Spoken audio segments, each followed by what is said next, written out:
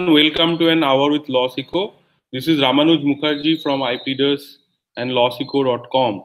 And with me, I have Shatarupa Choudhury, who's actually uh, a old friend of mine uh, who like from NUJS, and now she's working in Dubai as an in-house counsel. And we'll ask her more about exactly what she does. But today we are going to ask her a lot of questions about international arbitration and what sort of careers are available in international arbitration and especially in terms of in-house counsels what kind of work they do around international arbitration what kind of career opportunities are available in dubai. So definitely many of you will find this interest uh, interesting and relevant. Do ask your questions on the live chat uh, if you have any questions. And let's welcome shatarupa welcome shatarupa Hi Ramanuj. Hi everyone. Thank you for getting me here to LawSikho. It's really a privilege and honor to be here with all of you. And I hope this uh, will be useful a session.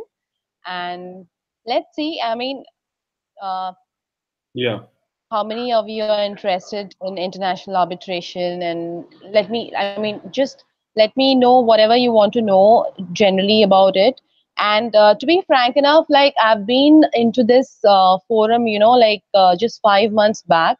I'm quite a novice in this but uh, yes these five months have shown me quite a bit uh, about what uh, you know international arbitration is and what practical issues any in-house or any you know like even a law firm counsel is facing an international arbitration issue.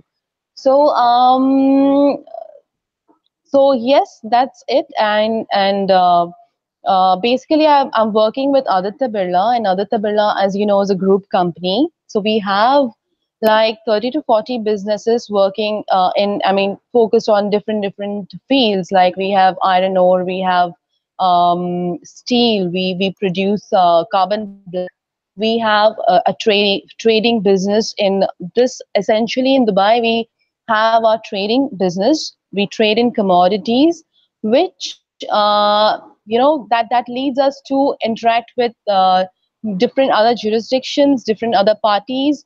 And because we are getting engaged with other parties international parties we uh, we essentially always have an international uh, arbitration clause. Uh, naturally it's it's about uh, you know have finding a finding a neutral forum for dispute resolution and uh, most of uh, most of uh, the experience has been with SIAC, Singapore uh, International Arbitration Center. So I'll, I'll get to that slowly. And um, so uh, yes, I mean, uh, my I'm sure, like you know, like we are all here, like law students. We have law students here. We have young young lawyer professionals here. So essentially, you like, I mean, if you are interested in international arbitration, the primary focus you must be um, having is on drafting good contracts. So, if you are good at drafting contracts, or if you want to be thorough in international arbitration, you want a career here, you must be right now, wherever you are, just make sure you are giving ample time to contract drafting. Uh, so because you are going to engage with the international parties, you will definitely have, you know, your governing law clause. You will have your dispute resolution uh, clause. So for that, uh, you have to be very sure. Like especially even if you're a law firm lawyer, you are, or an in-house counsel. First of all, when you're a law firm lawyer and you are, you know, like uh, helping your client in some matter, whether it's at contract drafting or whether it's post default a breach and uh, you're taking it forward to an arbitration institution you must know what your client is looking for. Now uh, i'll i'll you know bring here a, a very important fact that um, there is that there is a difference between uh, uh a law firm counsel and you know in-house counsel. So uh, essentially uh, you know as law firm counsels you you find yourself heavily engaged intensely engaged with procedures with the substantive law and everything. That's that's one amazing bit to be in. And also practically you get your experience and various forums.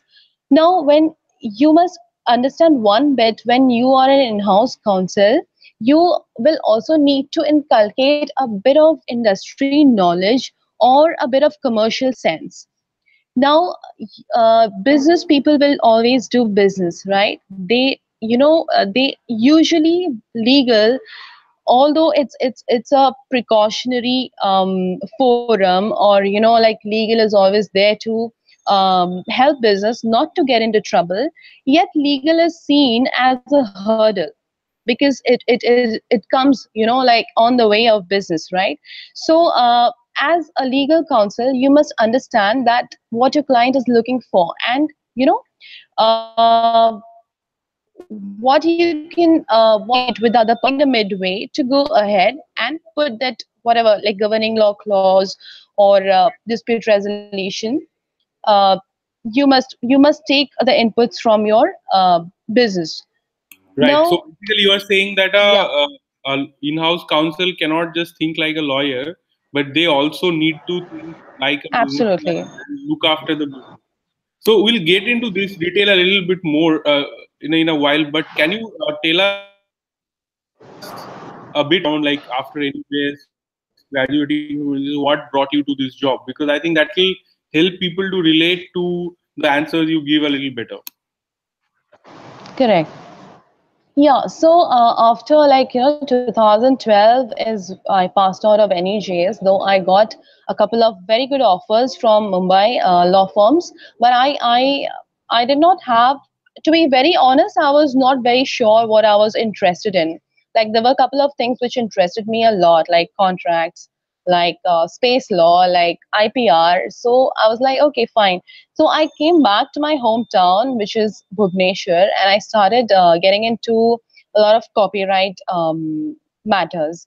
So uh, I did that for a year. That was highly interesting. But then uh, I wanted some intense litigation uh, episode to happen to me. So then uh, Aditya Birla happened, and we had a huge mining litigation going in Delhi that time, 2014. So uh, three years I worked with um, you know mining and environment matters because it's a fact that you know in india we do not have many mining lawyers and mining is highly technical you need to not just know the law you need to know how it works you know how what government has in its mind how legislations are drafted so a lot of things were happening and it was a wonderful experience um, in that i mean during that time i got to um, i mean work under mr p chidambaram and um, gopal subramanium that was a brilliant event. I mean, I would you know term it as an event in my life. And three years were amazing. Was amazing learning in New Delhi. Now, uh, because Aditya Birla has like lot of various uh, of businesses, so we have corporate legal. Okay, corporate legal is at the center. Now, corporate legal is an advisory uh, you know entity and it looks over all the businesses whenever businesses have issues they come to corporate legal and they seek your advice so it's it's it's advisory now uh, uh, we have a wonderful uh, you know general group group general counsel mr ashok gupta so uh, he he believes in uh, you know like your work he believes in your dedication. He doesn't believe in numbers or age like you know whether you are just like four to five year experience or where you've been and all. He'll just look at you know what you what you're willing to give and he uh, he's been able to encourage youngsters to spread out not just in the country outside the country to other businesses. Right. and that is how like uh, uh, mr yeah in Mumbai, he used to sit in the same building that where I used to work with Trilegal. So they were just one oh, Great. I knew somebody there. Yeah. at Aditya, huh. who was EA to uh, the, the CEO. So he made me actually meet uh, their group, like Mr. Gupta. And I remember, like you know, he was an, a very encouraging person, very uh, forthcoming person, and very jovial also. Yes. Yes, yes, he is absolutely. I mean, I think he ranks as, I mean, uh, he ranks as the topmost um, uh, in-house counsel in the country. He's ranked one, and he is the most uh, you know, like a very knowledgeable, very wise, very humble person you'll ever come across. And the best part uh, he does is he encourages youngsters. He believes in youngsters. Like in his tenure, I've seen uh, very young people, you know, becoming uh, chief legal officer of businesses and all. So that's the best part, and he's highly motivating, and that's what any, you know, like uh, fresh graduate would need motivation, right? I mean, you know, to be to be honest enough, to be honest enough, when you're in school, if you're like if you are uh, if you've already uh, found out what you really love to do out of all those 50 to 100 laws that's great enough. But but if if there is you know a thing in your head that you're not sure what you're looking for try out everything. Try out everything. And you know then, then you'll come to one place in your two to three years or whenever. Give it give yourself uh, ample time and you'll find that one moment one subject or you know two things which you love a lot. And uh, after that uh, after you get your own general uh, experience of being a generalist you get into specialization right? So that is a process. It might be slow for you but then it's it's very enriching. So just wait for that and try out everything initially. Now uh yes so uh um so you know mr ashok gupta like he uh he planned to send me out to this uh, trading business of us in dubai uh, we needed a legal counsel here. So uh, yes that is how uh, you know I, am into this now. And I, I, was surprised. I was surprised to uh, find you know there are like hundreds of matters and 80% uh, is international arbitration. We have like we generally deal with uh, siac with hong kong arbitration with london arbitration lcia so different institutions. And initially like uh, I had to like I mean right now I'm doing a lot of groundwork because you know like there's a lot to be synchronized there's a lot to be crystallized. Now uh, I'm sure like uh, I'll, I'll come to this I'll come to this. Um, in international arbitration uh, like for for law students and for fresh lawyers the first point is drafting a very good contract. Now in your contract you must always focus on, as I said, the dispute resolution clause, the, the governing law clause.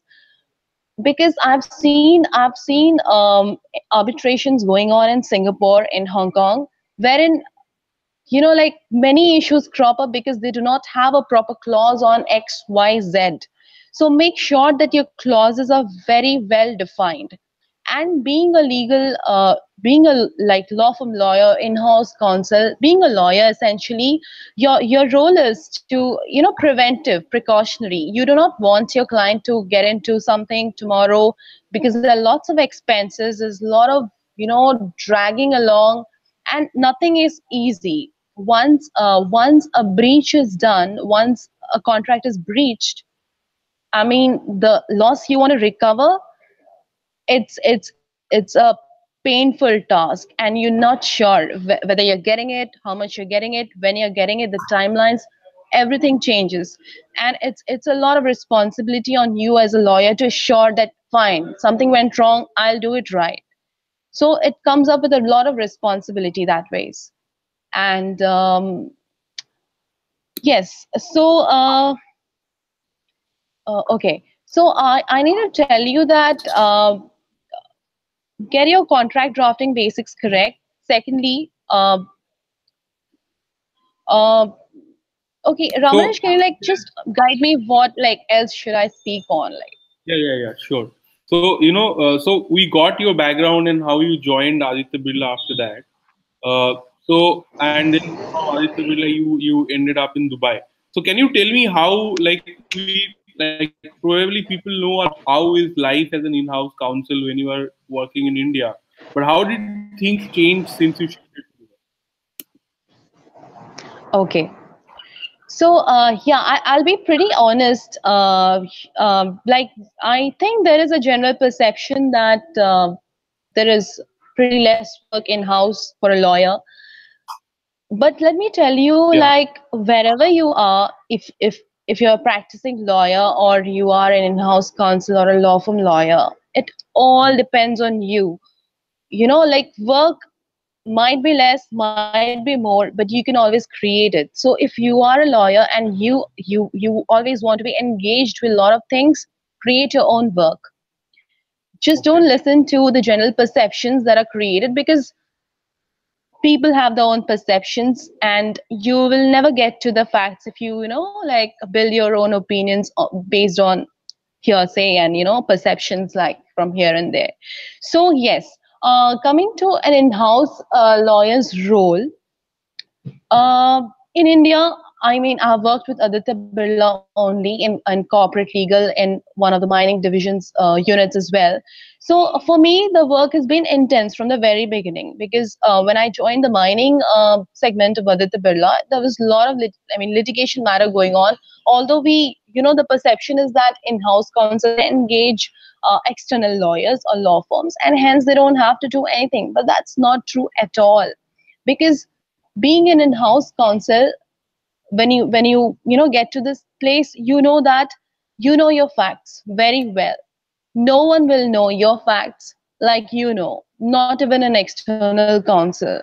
So your your role is humongous in terms of how you communicate you know uh, your facts to the external counsel and how you shape it up to build your own matter and to you know run it through successfully. Right. secondly uh, as in house counsel there is uh, there is a difference. I mean i mean i, I feel uh, you know like a sense of uh, there is responsibility as a lawyer but you know like i feel okay fine i'm i should make sure that my company wins this matter. I, I you know there is a sense you know that loyalty feeling it's there some somewhere it comes along. Uh, i'm not sure you know like how other people have experienced it but yes it, it is there. So uh, the way you drive the work is certainly different. Like i was i was constantly on this mining litigation in supreme court. We had a very top law firm with us but yes we were reading through the drafts. We were drafting you know applications by our own because we believe aditya Birla at least you know like we believe in drafting our own stuff getting it perused by the lawyer. And we were always you know at the like very much on alert. And you know like everything dates uh facts everything was like at the tip of our tongue. So there there was intense en- engaging and How it all depends I on understand, you you at the end of the day Yeah, yeah. So just asking, you know, from an India experience, how did it change once you moved to uh, Dubai? Like, it must be different, right? It cannot be quite the same. So what's the is it, or or is it pretty much the same? Would you say? uh okay my experience okay my experience is uh, slightly um, I, I should tell you that uh, currently i'm the only legal uh, person in uh, this trading business. We are looking to expand our trade uh, our uh, legal cell. So for me the work has been I, at least like 20 times more and i'm like you know like uh, working like for more than 13 to 15 hours.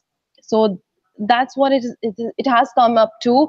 And uh, there is the there is more intensity there is more response uh, because we are constantly dealing with international lawyers and uh, you know we have to keep a tab on okay fine we were claiming x amount but we have spent y x plus y amount you know where it is going. So i have to keep a tab on that also. There's a lot of negotiation lot of um, a lot of strategy making. Strategy making was there in india as well but here like you have to like change your strategy like you know in a blink. You have to like understand okay fine i have filed it in uh, Singa- singapore and i've gone for siac now my execution my contract says uh, enforcement in indonesia. Now okay where do i go to indonesia? How is it uh, you know as far as execution is execution friendly do i get my money do i not get my money okay fine uh, the party is not responding to arbitration what do i do do i you know like party is just absconding can i simultaneously go and file a matter in uh, people's republic uh, code of Ch- China? Can I do that? Will it uh, be sustainable? Will it not be maintainable? I mean, you know, there's so many things going on. It's humongous, and the angles. I mean, because we are dealing with different jurisdictions. Um, it's it's uh it's a lot. It's a lot of work. It's a lot of thinking. It's a lot of uh, action as well. Right. I don't know how else i can put it. Okay.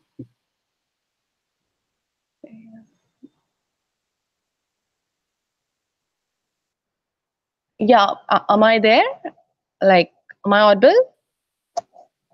Um, i lost you for a moment i think. Okay you're back. Okay yeah. Yeah great. All right. So uh, you know what's your experience with respect to the system in dubai? Like uh, do you have to do some work in dubai or are you only doing international work? Uh, uh no i'm based out of dubai so okay um because we are generally dealing with you know parties from china indonesia or uh, africa london. So uh, essentially the work is out of dubai to be honest. But yes uh, in dubai we we uh, generally have like very few matters we have in dubai courts. We have you know to face uh, dubai i mean uae councils. So let me tell you a bit about dubai. I mean uae uh, in uae uh, only uae citizens are allowed to practice in the courts. You can practice i mean do the rest of the work as a lawyer but you cannot go into the court and practice. So that's one. Secondly but as i mean as an in-house counsel or law firm counsel here the work is again tremendous. You you uh, you get great work internationally.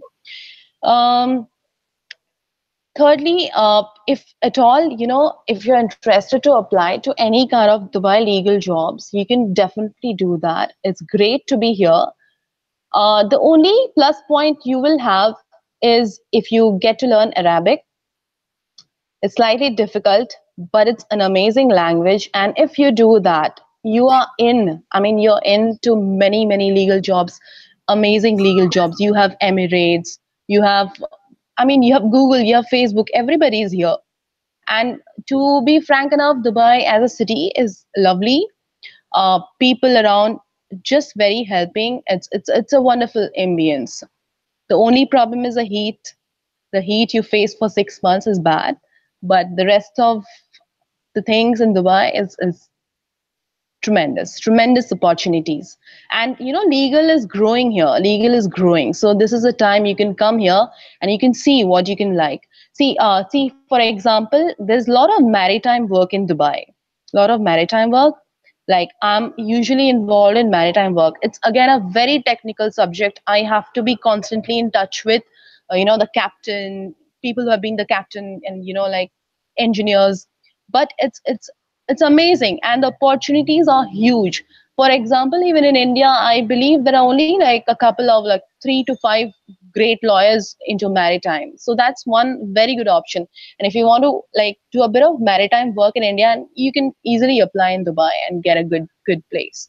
Uh, secondly uh, there's a lot of construction. You know dubai is dubai is about being strongest and tallest. So a lot of construction uh, you know law and a lot of man is there. So you can uh, learn the construction law stuff and take some courses. There are online courses as well. Please Google.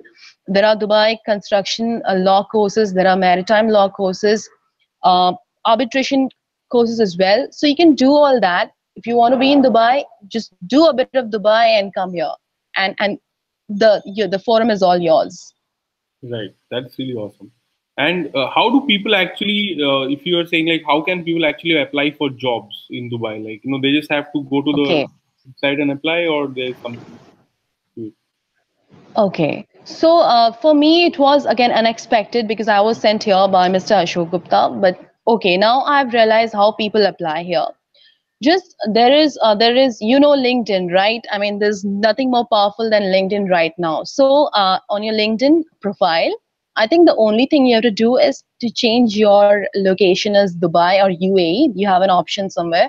So do that and you get uh, you get uh, hundreds of you know opportunities. Just keep applying keep applying keep applying. And if at all uh, you know the only problem is like uh, these interviewers they prefer if you are in dubai while they call you for an interview. So next time if you are planning to come to dubai it is you know like three and a half hours from mumbai. It's it's it's it's just like you know another city you know you can just say that in india. So whenever you're planning a trip plan for you can take a 15 uh, day visa or a one month visa. That's that's way better. Get a one month visa for your next vacation. Come here roam around you know have a great time. At the same time you know like come and just reviews you can. So for that you should start applying now and you know plan your vacation that ways. Right and So, secondly uh, i'll uh, yeah sorry carry yeah, on. yeah sorry i cut you off. Please carry on. Yeah there is there is an app uh, called uh, Dubizzle d-u-b-i-z-z-l-e so uh, guys please download that. You get a lot of vacancies over there for uh, dubai jobs. So keep trying. That's the only way. Constantly trying. Okay. So just by applying, one could get, and the best way to actually land up in Dubai and look for jobs. That's a that's a great suggestion. I think yeah for interviews yeah just expensive and there are hostels. There's a lot of cheap hostels to stay in, so it's it's it's no big deal. Absolutely. Yeah. Absolutely. No big deal. I mean, if you can just plan your vacation somewhere in Sri Lanka, mm, uh, uh, Pattaya, I mean, better come here. Yeah, um, like you know, not from a vacation point of view, but I I think the you know the cost of traveling to Dubai is very less. Like from Mumbai, I Very one way like 7000 Absolutely. or something. So that's good. Absolutely. From and it's the cheapest from Jaipur, I heard. It's 12,000 to and fro if you book it in advance. Twelve thousand to and fro. Wow. And visa, yeah, and visa, I'm not sure, but visa for a month is like 300 or four, 300 dirhams, should be like five to 6,000. So pretty pocket friendly. I mean, if you, yeah, it is. Right, and people can go on a tourist visa. Really, they don't have to worry about. It. Yeah, I mean, yeah. They have to come on a tourist visa. Because uh, Okay. here So the we- employers, once you enroll, I mean, once you are jo- joining some company or whatever, like your employer will get your residence visa done. So when you come here, you come on a tourist visa. Right. So, uh, you know, what's the uh, experience of living in Dubai like? You said said that it's a very friendly city, but if you can tell a little more, like compared to you have lived in Delhi and Bhubaneswar, like compared to that, what are the challenges of? Yeah. Uh, so I've uh, lived in Delhi and Bhubaneswar in Mumbai. Now I'm in Dubai. So, uh, okay, I'll tell you. Uh, okay, let me tell you the only minus. The only minus is accommodation.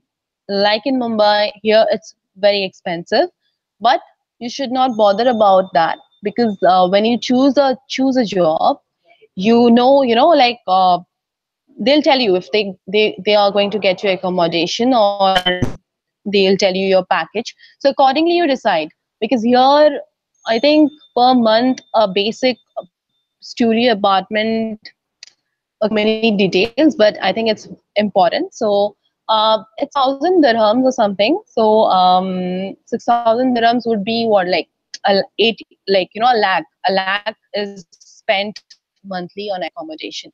So accordingly, you know, if you're coming for a job, what is the package you're looking for? If they tell you, okay, we are going to get you uh, 12,000 total, including accommodation. So you should know instantly that that five to 6,000 will go away in um, in uh, ac- accommodation. And so the rest 6,000, is it okay for me or not? So uh, that's how you have to quickly think. And uh, but for me, I mean, if you ask me honestly, as a fresher, if you're coming and if you're offered a job of say uh, 15,000, 12 to 15,000, including accommodation, never say a no because you should start somewhere and that's a good amount of money. If you know you're coming from here and your your standards are changed instantly, so uh, keep that in mind. And uh, secondly, um, Dubai, yeah, this is accommodation. Secondly, Dubai as a place is wonderful. I mean, as I told you, you know, you you it's it's a cosmopolitan. You have people coming from various places. People are extremely helping. Like I mean, I can tell you, the first day in my metro, I needed help. I had no phone or anything. You know, like there was a Filipino woman who helped me to travel till the end, and you know, she got me down at my office. Palestinian people everywhere, like I mean, I've been very much touched. Like in Mumbai, I felt this great people everywhere, and in Dubai, the same thing. So that's a plus point for me. And thirdly, um, yeah, like if you if you get a kitchen and you cook for yourself, you can save a lot. So Dubai is actually if you're you know if you're getting an accommodation, you're getting kitchen, it's less expensive than being in Mumbai. So that's fantastic so uh, how, how is uh, the experience of you know like uh, in international arbitration like when you are handling these cases what are the usual uh, challenges that come up and what are the skills that you really need to deal with? Yes. So um yeah. Am i audible? Yeah yeah yeah. Yeah, yeah. Great. So, okay. Now, uh, you should remember is when you're advising your client to go for an arbitration to invoke that arbitration clause, make sure that the other party has actually breached the contract. Be very sure that the breach of contract has to be crystal clear. For example, if you you know you're not very sure, maybe there is a contributory uh, breach from your side as well, and you're going to SIAC or you're going to Hong Kong arbitration, you might end up paying uh, paying up the legal cost for the other party as well. So don't don't put your client into that position. Always make sure that there is a breach from the other side, and you can prove it with documents. Okay. So one uh, one very essential thing we must see that you know in contract, just check the the liability clause whenever you're dealing with an international party. What is the loss that you're claiming in case the other person is breaching the contract? Uh, is it direct? I mean, are you covering the direct losses? Are you covering the indirect losses? Are you covering loss for profit? So today, if I'm only covering uh, direct losses in my contract, and tomorrow before SIAC, I'm going and telling them that, uh, uh, okay, I lost, you know, I had some losses with respect to profit because a person did not lift my cargo and I had to sell my cargo to Z, you know, at a lower rate, cheaper rate. So give me back my loss of profits. SIAC will not listen to that and never even try to raise that kind of uh, uh, if you do not have it in a contract. So essentially what we are seeing is these institutions, they are very much, you know, into your contract. They'll see what you have agreed upon what you have not agreed upon, what you have, you know, given yourself to on the plate. So that's very important. That's where contracting comes, you know, as handy. Uh, secondly, um, in India, secondly, you, when you're dropping, uh, just, just just drawing a parallel here in India, you can go to the court with even like very remotely relevant issues, and you can actually get a hearing, get a you know injunction issued, or at least a notice issued on like even if you don't have it in the contract, you go and allege some sort of, you know, like misconduct or something. Correct. But these, this is something you don't get to do when you are doing international arbitration. Is, is that what you're saying? Yes, yes, absolutely. So here, like, you have to be very precise. You have to be very clear. You have to have your own documents. The documents have to be authentic. Like, arbitrators they also go by you know they notice your conduct like okay i mean this was a forged document given to us. Even though you have not breached the contract and the other party party has breached the contract they will keep that as a note that no you actually gave us some small forged document. You know so all these things you cannot cannot bluff before an arbitrator. And everything every conduct is taken very seriously. Um so uh, yes and when you're claiming anything any kind of loss even if it's small thing just have your your own uh, proof for that. So that that has to be very uh, very uh, you know convincingly uh, provided to the arbitrator. Okay now coming to the second issue. The second issue is whenever you're advising your client that, okay, let's go for arbitration, make sure that you are doing your due diligence about the other company, as in whether the company has assets enough to get you back your money or not. Unfortunately, as an in-house counsel, what I see is arbitration has been pushed into and we get an award you know after like nine ten months we are getting an award of millions of usd and the moment we try to you know go for enforcement in some other jurisdiction we see the the the company has no assets so where do we go? So all your labor all your expenses they're just gone. I mean you can't like no one can give you that back. Right. so make sure before you push your client to go for arbitration not just that the other party has breached the other party has you know assets enough to get you back your money okay? Thirdly the most important point is make sure you're choosing the right jurisdiction for enforcement. Suppose uh, suppose like i'm choosing uh, okay enforcement in zambia.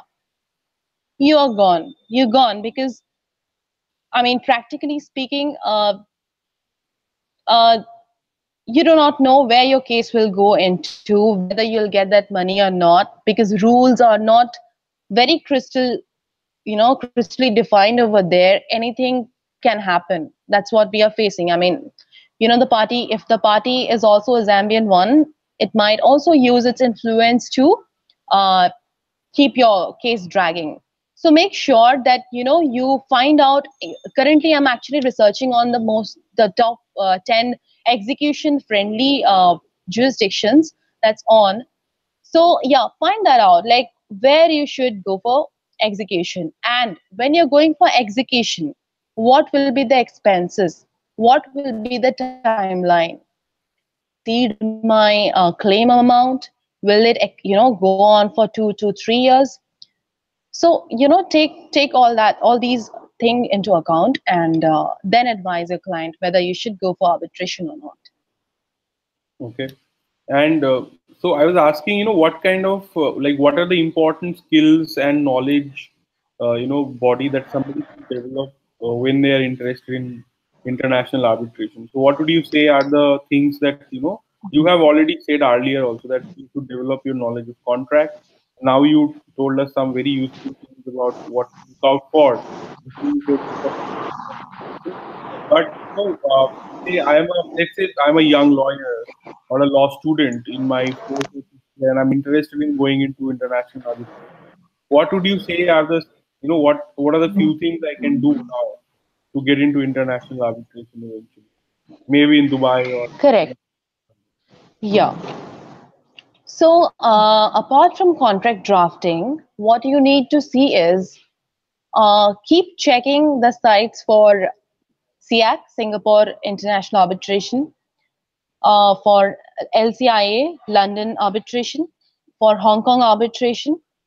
And we also have, a, a you know, uh, budding uh, MCIA, I think Mumbai, uh, Mumbai Arbitration. So check that. So you need to be in, you know, updated with all these sites. So they are very informative and they usually hold sessions, uh, conferences all around the world. I think uh, there is a, there is a conference coming up in October in Mumbai, October 8th, if I'm not wrong. Just check uh, CF uh, site for that. Update about these sites. Keep uh, visiting conferences. Keep meeting people. Keep meeting. You know, like okay, like I've been to uh, quite a few conferences here and there, and the discussions, the kind of uh, you know um, knowledge that you derive out of that, the practical issues that you will you know hear yourself uh, getting discussed. So that's amazing. I mean, I mean, make sure that you attend at least one conference every month, or if not every month, then you know once in two months anywhere.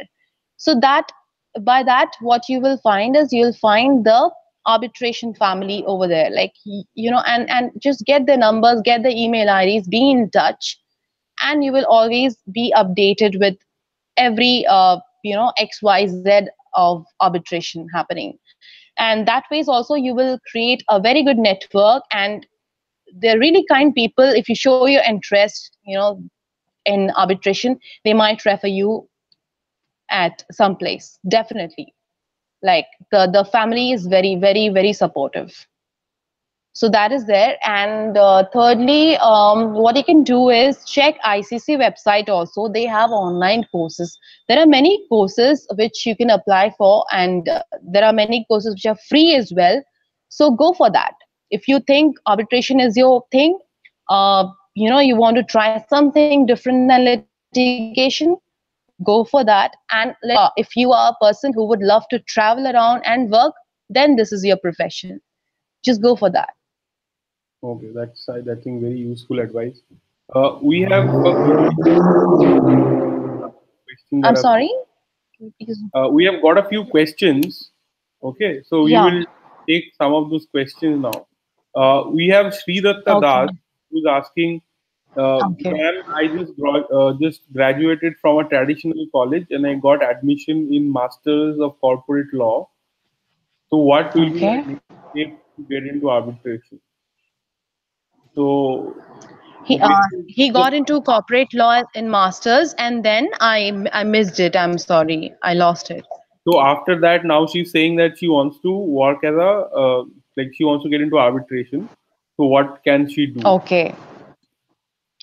Okay. Uh, yeah. Hi. Uh, I mean, what you should do right now is uh, you have taken a great decision.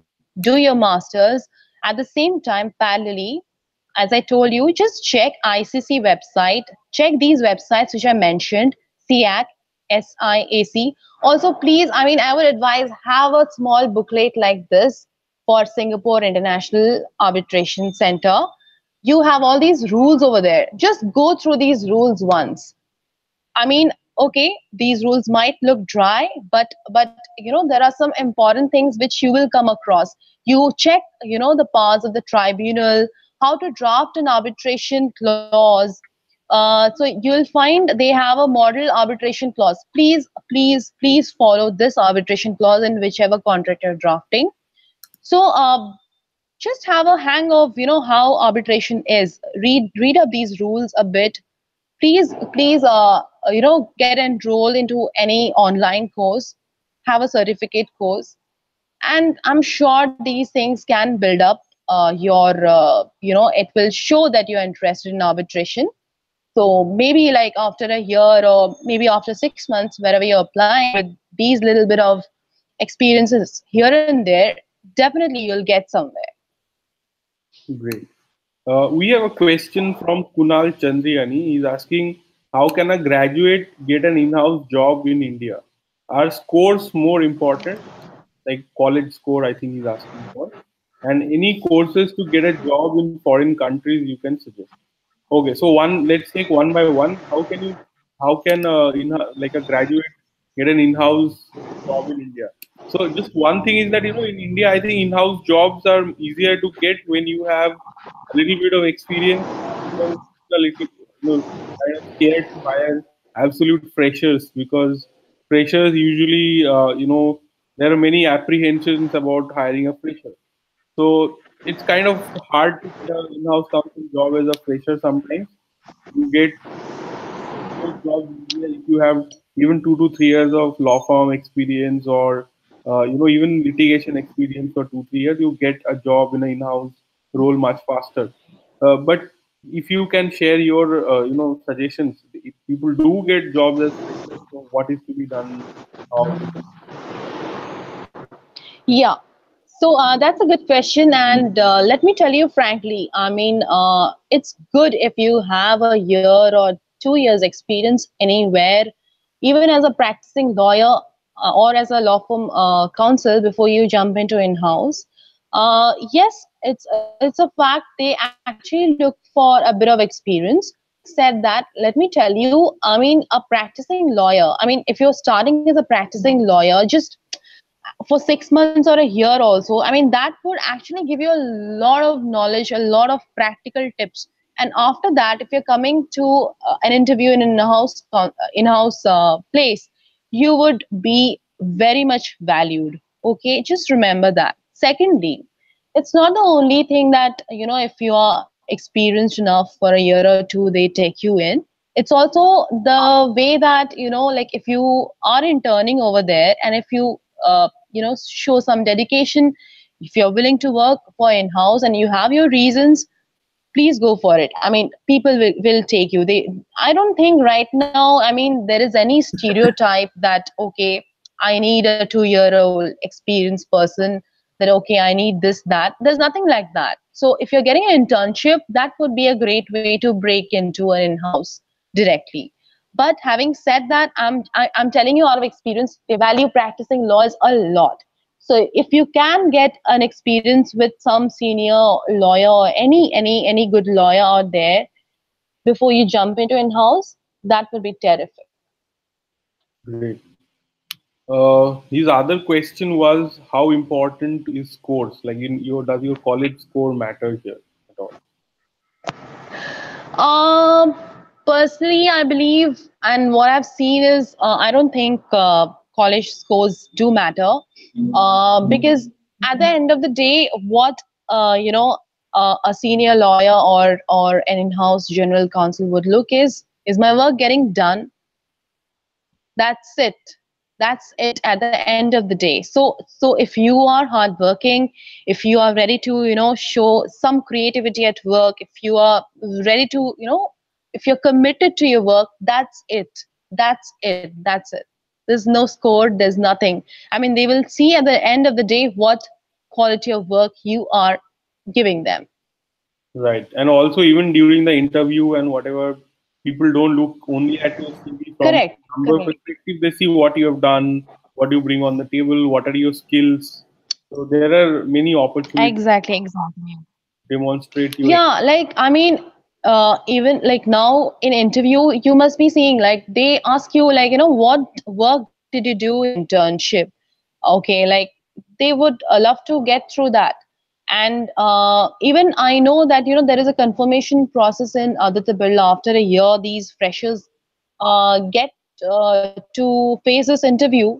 They're just asked on what kind of work they were doing and were they doing it thoroughly? What have they learned from that experience so it's it's more like practical. And somewhere college scores are given a back seat. But having said that if you are still in law school please do your law correct. I mean i mean that's the best place to learn. That's the best place to you know get as much knowledge as you can as much as many articles you can write. I mean just get engaged intellectually as much as you can. That will always be a brownie point right so yeah. So, all right. So the other question uh, Kunal also asked is uh, any courses to get a job in foreign countries you can suggest? Uh, I didn't get it, Ramanuj. Can you please repeat? Yeah, he's asking if there are any courses one can do to get a job in a foreign country. Oh, courses. Okay, I can only tell you about arbitration courses. So, uh, as I told you, like check ICC website, International Ch- Chamber of Commerce website. You have online courses on arbitration.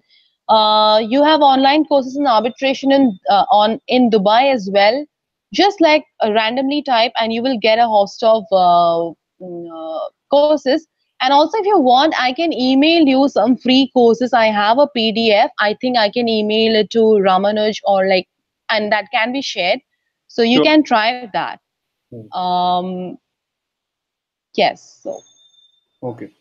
So we have another question from Kinjal Kini Ray Chaudhary, who is asking, I have graduated last year from a traditional law college.